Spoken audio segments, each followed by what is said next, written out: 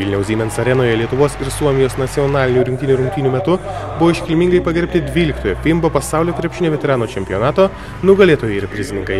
Už Lietuvos vardo garsinimą pasaulyje, už pasiektus rezultatus Lietuvos krepšinio federacija ir Lietuvos krepšinio veteranų lyga čempionato dalyvius pakvietė stebėti tarptautinių vyrų krepšinio turnyro rungtynes Vilniuje. Veteranų komandų dalyvius sveikino ir atminimo dovanas teikė Lietuvos Respublikos Seimo pirmininkas Vytas Getvilas ir Lietuvos krepšinio federacijos prezidentas Arvidas Sabonis bei Lietuvos krepšinio veteranų lygos viceprezidentas FIMBA valdybos narys Anatolijus Čiupkovas. Lietuvos komandos pasaulio čempionate Graikijoje iškovojo vieną aukso, du sidabro ir vieną bronzos medalių komplektus. Geriausiai sekėsi moterų 40 plus grupėje žaidusiai Vilniaus svajos komandai. Jos finale vos vienu tašku palaužė Ukrainos bendramžės ir iškovojo auksą.